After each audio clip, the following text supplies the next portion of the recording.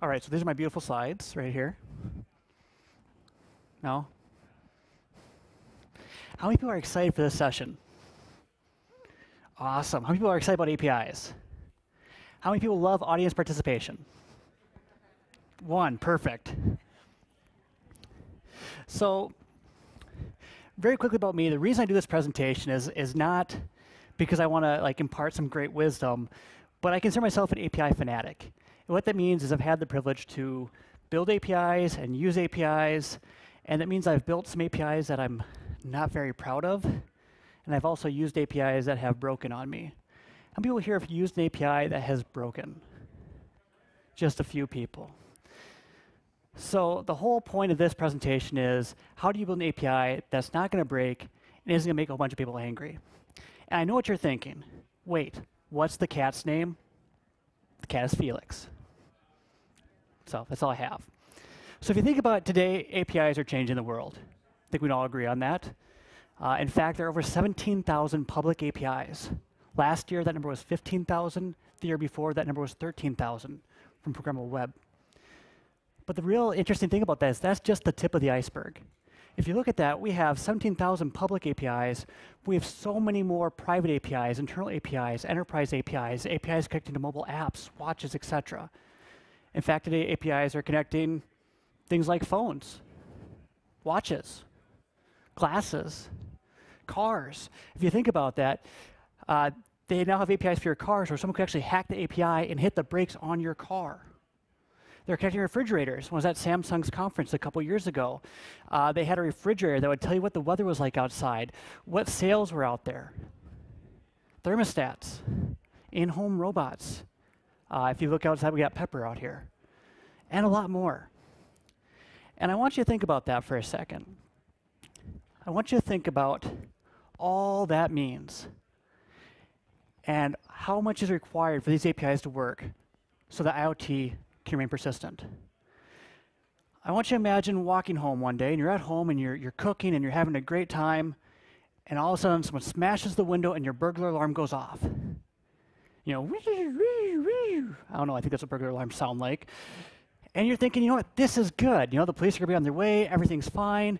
And all of a sudden you hear, wee, wee, wee, update required. If we don't keep our APIs persistent, things stop working. The other problem with that is versioning and making changes is expensive. But it's not just expensive for you building that API, it's expensive for everyone. It's expensive for all your consumers that are trying to use the API and have to refactor all of their code. Thankfully, I'm gonna try my best Billy Mays impression here. With five simple steps, you can build an API that's designed to last. They are, first and foremost, go with a long-term mindset. Secondly, understand what it is that you're building and why you're building it. Utilize something called spec-driven development, which we'll talk about. Incorporate best practices, and then repeat steps one through four. So think long term. How many Warriors fans do we have here?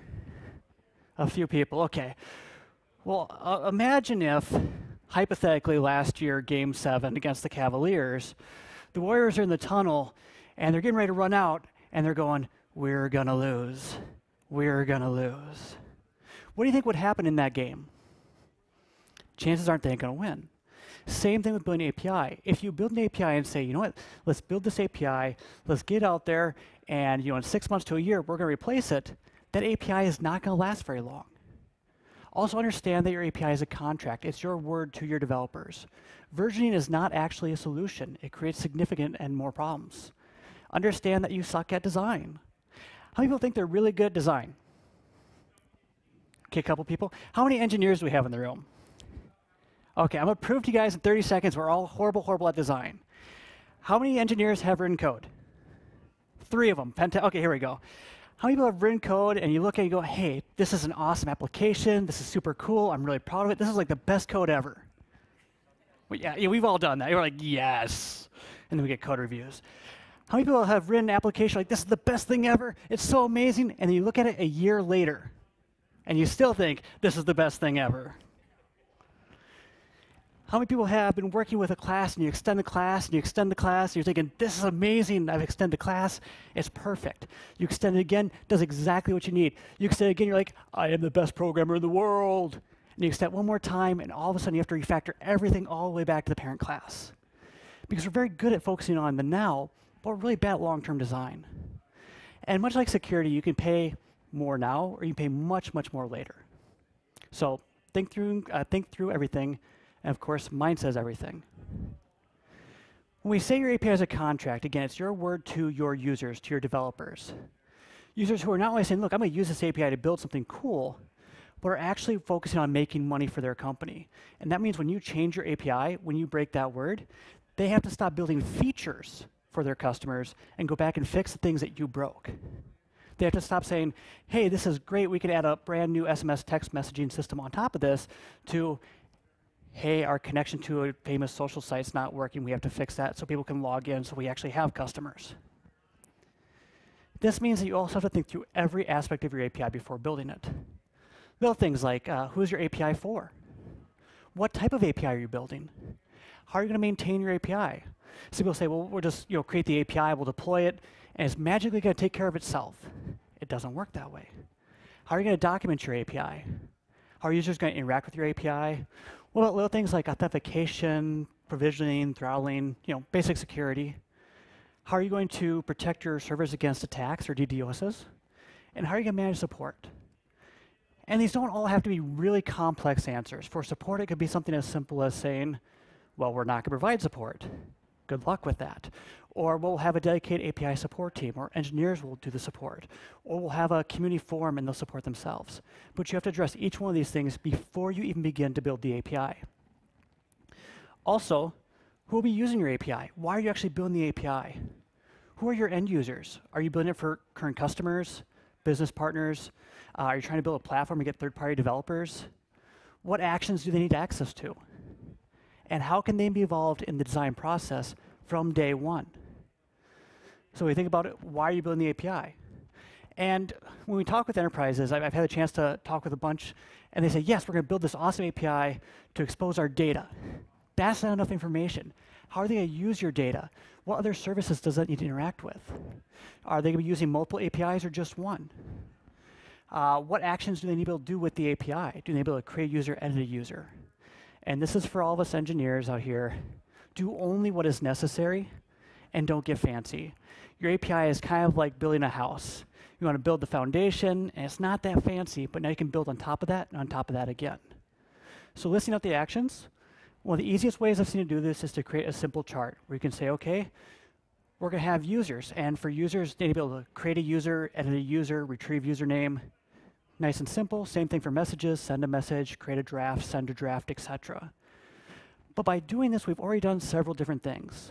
The first thing we've done is we've created our resources. We now know, well, we have a users resource. We have a messages resource, a procs resource.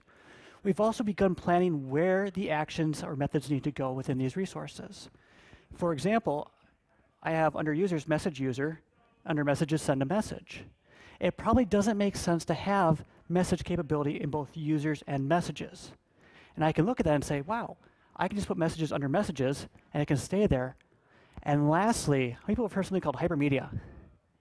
We've actually identified our hypermedia links because we can say for users, chances are they want to actually message a user, which lets us know that we can use that hypermedia link down the future versus have to go back later and recreate that map. Also, what type of API are you building? Are you building a REST API, a partial REST API, a SOAP API, uh, remote procedure-based API? Why are you building the API in that format? And this, this seems kind of silly, but a lot of times what happens is people say, I'm going to build this REST API, it's going to be awesome. And they go halfway through and they say, you know what? Actually, I really don't like the way that REST you know, uses put and patch, so we're actually just going to change this. Or I really don't want to do a post for this. I just want to do a post with a query string. So understand why you're building the API in that format to prevent those problems. Also understand what's it mean for development, what's it mean for usability, and what's it mean for the longevity of your API. For example, if we look at the three major types, SOAP APIs, RPC, and REST, with SOAP, the great thing here is that it can be stateful or stateless. If you need long transactions that can have rollback capabilities, it's perfect for that. Uh, WSDL is actually really great. You do a simple call to WSDL, you get the definitions, really nice. On the other hand, larger packets of data, not the easiest to use, requires a SOAP library. Well, RPC. RPC is the easiest one for developers to use. In fact, we see a lot of hybrids of RPC, and we've seen very successful RPC APIs such as MailChimp. The downside, it usually is very tightly coupled, requires a lot of tight documentation, and typically just uses get and post. And then you have REST, which has all these great advantages, but it's stateless, which can be good or bad, and also more difficult for developers to use. And if you say, this is great, we're going to go with REST, we're going to use REST, REST is the way we want to go, do you understand the REST constraints? Do you understand what it means to be client server and that each must be able to evolve independently of the other? Do you know what it means to be stateless? That you cannot control or store state on the server side of your API. Are you providing cache mechanisms to the users to say, this can be cached, this cannot be cached, so essentially your cache control or your e-tags? Are you providing an interface Are you from contact? Are you using a layered system, which is kind of what we're talking about with microservices?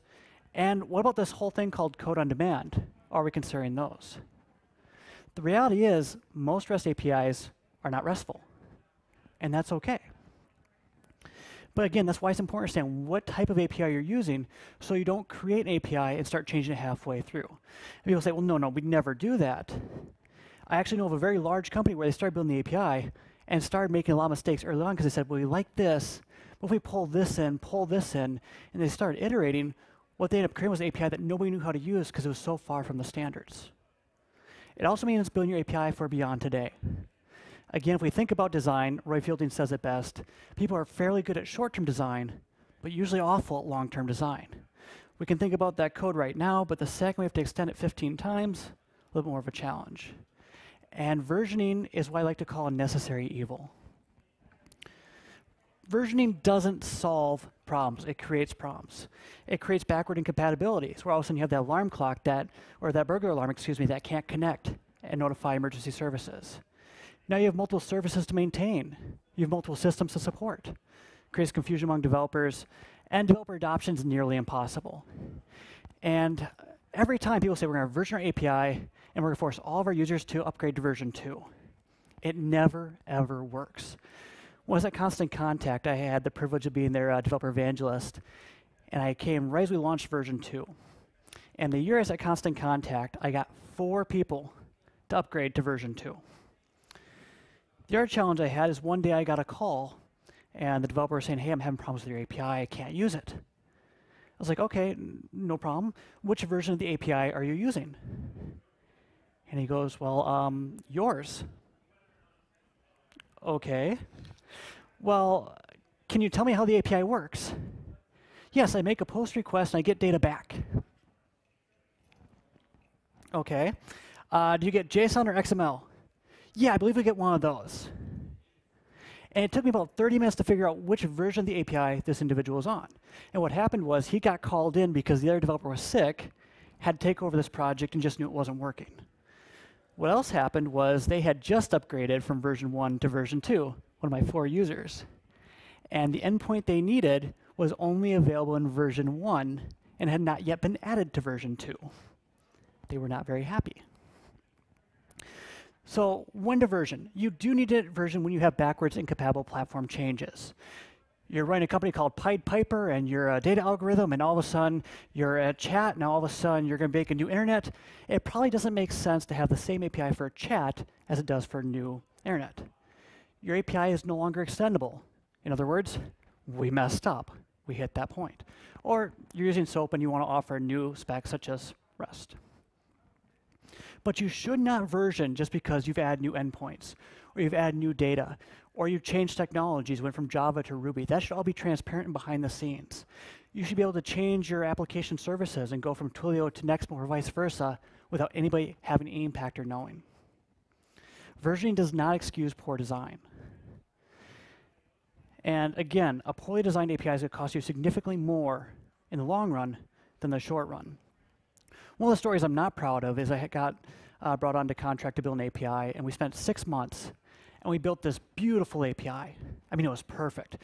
The code was amazing, I know because I wrote it. Um, People laugh out there apparently. Um, you know, it followed all the REST standards, great API, and we released it into the wild, and we realized nobody was using it. Just didn't meet their needs. So we spent the next two months trying to tweak this API, trying to fix it, and it still didn't meet their needs. We up scrapping nine months of work because we tried to build something that we didn't test, we didn't work with the users the right way, and it built something that they didn't need. So we're going to talk about something that's called spec-driven development, which changes the way we build APIs. And as you're going to define your API before coding. You're going to implement code reuse and design patterns so that the API remains persistent and consistent throughout. You actually mock the API and get user feedback, make the necessary changes, then start coding to the specification. And the key thing here is do not deviate. So if you think about it, it's really two stages. The first stage is you have your design iteration. The second stage is we're now going to develop based on that design. So what does it look like? Start off with, we're going to design our API. We're going to mock it out, actually test it. Once we've tested it, we can collect feedback, validate if it's ready to use or not. If it's ready, start development. The other great thing, by the way, about creating this prototype early on is if you have a mobile application that needs to be out right away, we actually do parallel development based on that prototype. So your mobile team can start building on the API even before the API itself is finished. So the goal here is that if we do this, if we prototype, we can start bringing in things like agile user testing. And we can discover the issues with the API before we publish it. And we can let our developers do what developers do best, develop fearlessly. So sounds good. Problem is that up until now, it didn't really costly to build an MVC, build this all out. Good news is, today there are tools that make it extremely easy to design your API, prototype your API, document it, create SDKs or client libraries, and drive user interaction. So, you know, great point made earlier, no documentation stays up to sync. Well, it does if it's derived from the source of truth, which could be the specification. Specifications out there, you have RAML, you have Mashery's IO docs, Swagger API Blueprint. Uh, with these specifications, the one I'd highly recommend, whether it be RAML or Swagger, Mashery is kind of moving away from their IO docs. Swagger's really kind of taking control and winning the battle overall. But for myself, I actually like RAML. I like RAML because you can define your API in just a few lines of code. You can see what it'll look like as you go. So as you create these resources and these methods, you can actually see what your API will look like. You can quickly prototype it for developers to try. If they need to make tweaks or changes, you're simply changing a couple lines of text, not code. Uh, you can easily document your API. The last API I built, it took me five minutes to document the entire thing. I literally installed an open source PHP script and had 15 pages of documentation. Let developers try your API online, let them interact, and then again, using services like APIMatic.io uh, or REST you can actually generate the SDKs. So here's the challenge part. Everybody study before this session, right? You guys got the homework? No. Okay. We're going to do our best here uh, as we look at the, the RAML here. How many people, let me ask this, how would I create a description in RAML? Like what would be the tag I'd use for description? Anybody? I have a laser pointer, so I can't help people cheat. So I want to add a description to my collection here. What would I uh, type? Des yeah, description. Yep. Same thing. So as you look at RAML API Designer, kind of looks like again as we write this out, you see exactly everything on the right. And again, here's another example of the code to create a resource called playlist slash playlist method get get responses etc. The important thing to remember here is that it's not a one and done. Uh, as you implement this, you want the spec to become the source of truth. You want to be the source that you can use again and again. When you make changes, you can then update the specification, generate your test-driven test for trust-driven development, excuse me, your unit test, take that, have them developed to the tests, then all of a sudden you have your documentation, you have your SDKs, everything stays in line and up to date. Last but not least, make sure you incorporate best practices. Uh, with the best practices, you want to do things like use nouns, take advantage of CRUD, use hypermedia, accept content type, return header codes, and use descriptive error messages. Using nouns. With nouns, big thing here is you want to use users, not create user, get user, delete user. But you also want to use the plural. So if you're saying, look, they have an address, but in the future they might have multiple addresses, start off with addresses so you don't have to rename it later utilize CRUD. Uh, I think everybody here knows the create, read, update, delete. post, get, put, patch, and delete. The important thing here is to understand what's the difference between post versus put, because both can be used to create new items. Uh, typically, you should not be using put to create an item, even if it has an explicit ID. Uh, what's the difference between put and patch? Put, of course, being a complete override or update, patch being a partial update. But do you understand the differences as you incorporate and make them use them correctly? Using hypermedia. How many people here are familiar with hypermedia? People? How many people here have ever used hypermedia? No, okay. How many people here have ever used something called the World Wide Web? Just three people, four people. Okay, I'm in the wrong session here. If you've used the web, you've used something called HTML, which is the hypertext markup language. Hypermedia extends hypertext. All hypermedia is, is a series of links. And to make this easy, there are numerous specifications out there. So you have HAL, you have JSON LD or linking definition, JSON API. Uh, my recommendation would use HAL or JSON API. But here's all hypermedia is. What it says is, okay, I made a call. Here's the URL to follow up on that. So if I want to send those messages, here's how I send a message. Now, here's the great thing about hypermedia. Let's say we have a user and we have this messages and people start spamming users. Somebody accidentally put a loop in, just ran through, sent 100 emails. So we say, you know what, we want to introduce a token that's unique to that link. So every time they send email, different token. We can update that in the hypermedia without breaking anything. There's no backwards and compatibility breaks. They get the URL from the message, they can then email them. Use accepting content type headers. Uh, this is one of the common errors that we see with APIs. People say, well, I'm only going to support JSON.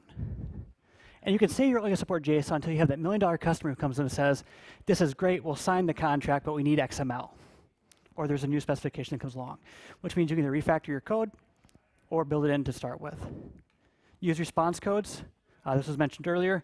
Uh, make sure you tell people what actually happened. Use the correct response codes. 200, it was OK or updated. 201 was created. Uh, forbidden, unauthorized. 500, we obviously no idea what happened. Or you can get a little bit creative and say, we want to use 418, I'm a teapot, or 420, enhance your calm, which honestly, I don't get that one. Again, use descriptive error messages, which I went through. Important thing there, message, but then also link. And of course, take advantage of formats already out there.